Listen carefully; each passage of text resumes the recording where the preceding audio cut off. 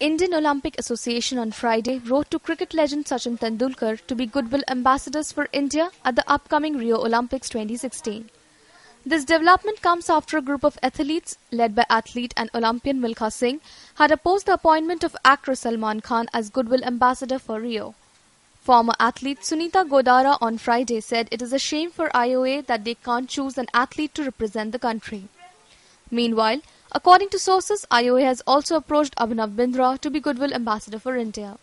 Yeah, see, the, uh, because uh, sports persons have uh, reacted very badly and they opposed.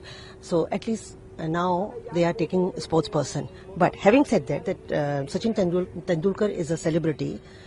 Even now, this is IOA's fault. It is disgrace to IOA that they can't take anyone from Olympic sport. And this is the golden chance for Olympic sports sports persons, medalists, Olympic medalists. There are so many to become celebrity in their own event.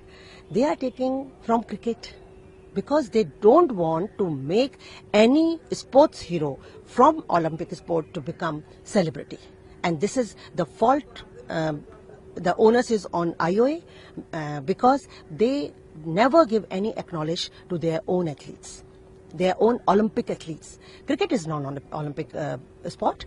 No matter that cricket is a uh, the game and uh, uh, cricketers are celebrities, it doesn't mean that you disgrace your own Olympic champions.